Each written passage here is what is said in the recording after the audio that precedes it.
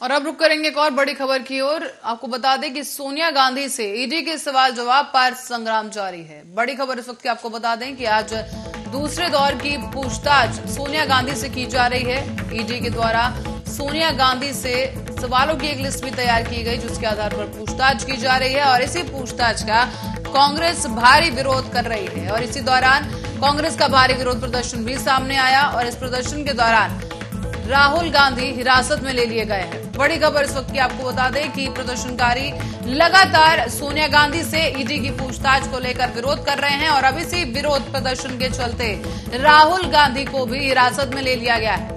बताया जा रहा है कि इससे पहले भी कांग्रेस के कई कार्यकर्ता और समर्थकों को पुलिस ने हिरासत में लिया है और इसी बीच अब राहुल गांधी का नाम भी सामने आ रहा है, जिन्हें पुलिस ने इस वक्त हिरासत में ले लिया है। सोनिया गांधी से मनी लॉन्ड्रिंग मामले में ईडी पूछताछ कर रही है।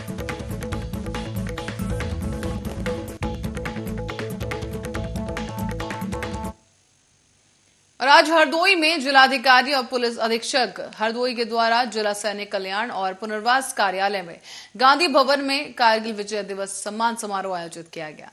इस समारोह में प्रतिभाग कर भूतपूर्व सैनिकों को सम्मानित किया गया है। साथ ही साथ शहीद चौराहे पर कारगिल युद्ध के नायकों के सम्मान में पुष्प अर्पित कर उन्हें श्रद्धांजलि दी गई। बताया जा रहा है कि इन तमाम शहीदों की शौर्य गाथा और बलिदान को एक बार फिर से नमन किया गया है। सैनिक हैं। और जो वीरांगनाएँ हैं, या शहीदों की जो माताएँ हैं सबको सम्मानित किया गया जिला प्रशासन द्वारा। और जो यहाँ पर बच्चे उपस्थित हैं, उनको एक उनको भी अवगत कराया गया, कई बातें सुनाई गई कि किस प्रकार से कारगिल में और दूसरे जो हमारे जो किस प्रकार से अपने साहस का परिचय देते हुए विपरीत परिस्थितियों में देश की सेवा करते और युवाओं को भी हम लोगों ने प्रोत्साहित किया कि वो लोग भी इन प्रेरणादायक कहानियों को और लखनऊ में विधानसभा के सामने कांग्रेस कार्यकर्ताओं का विरोध प्रदर्शन जारी है।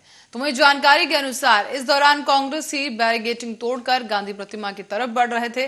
लेकिन इसी दौरान पुलिस ने, जब उन्हें रोका तो इसी के चलते कांग्रेस और पुलिस के बीच झड़प हो गई है। दरअसल आज ईडी के द्वारा सोनिया गांधी को एक बार फिर से पूछताछ के लिए बुलाने पर कांग्रेस पार्टी द्वारा नाराज़गी जताई जा रही है। इसी नाराज़गी के चलते विधानसभा के सामने पहुंचकर तमाम कांग्रेस के जो कार्यकर्ता हैं और पार्टी के जो समर्थक हैं वो प्रदर्शन करने पहुँचे और इसी क्रम में आपको बता दें कि कांग्रेस पार्टी के वरिष्ठ नेता नसीमुद्दीन सिद्दीकी और आराधना मिश्रा मोना को पुलिस द्वारा पहले ही हाउस अरेस्ट किया जा चुका है। और इसी क्रम में पुलिस ने अब प्रदर्शनकारी कांग्रेसी नेताओं, कार्यकर्ताओं को हिरासत में लेकर इको गार्डन भेज दिया है।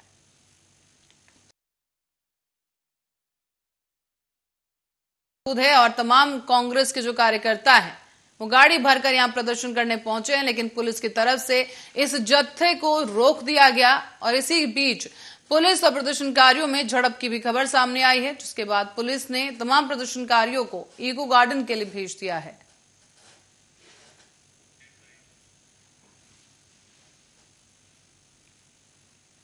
और एक और खबर की तरफ़ रुक करेंगे, बड़ी खबर इस वक्त की सामने आ रही है। बता दें आपको कि ममता के मंत्री से जुड़ी हुई ये खबर है। ईडी आज पार्थ चैटर्जी से पूछताछ कर रही है और पूछताछ में सहयोग नहीं कर रहे हैं पार्थ चैटर्जी। बड़ी खबर इस वक्त की आपको बता दें कि हाल ही में पार्थ चैटर्जी को गिरफ़्तार किया गया था और अब ईडी पार्थ चैटर्जी से पूछताछ कर रही है, लेकिन खबर सामने आई है कि पार्थ चैटर्जी पूछताछ में सहयोग नहीं कर रहे हैं। पार्थ और अर्पिता को तीन अगस्त को ईडी की हिरासत में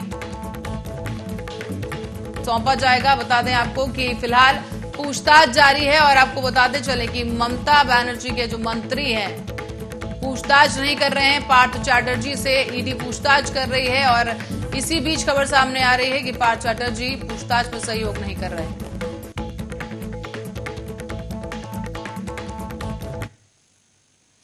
अब अगली खबर की ओर, फतेहपुर जिलाधिकारी के नेतृत्व में चलाए जा रहे जागरूकता अभियान के तहत प्रार्थना पांचांग फ़ेज़ तीन के दूसरे हफ़्ते में विकास खंड क्षेत्र के प्राथमिक विद्यालय तारापुर के नौनिहालों के द्वारा नुक्कड़ नाटक और अन्य गतिविधियों के साथ स्वास्थ्य, पर्यावरण और इन तमाम चीज़ों को स्वस्थ किस तरह से रखा जाए उसका संदेश दिया गया है।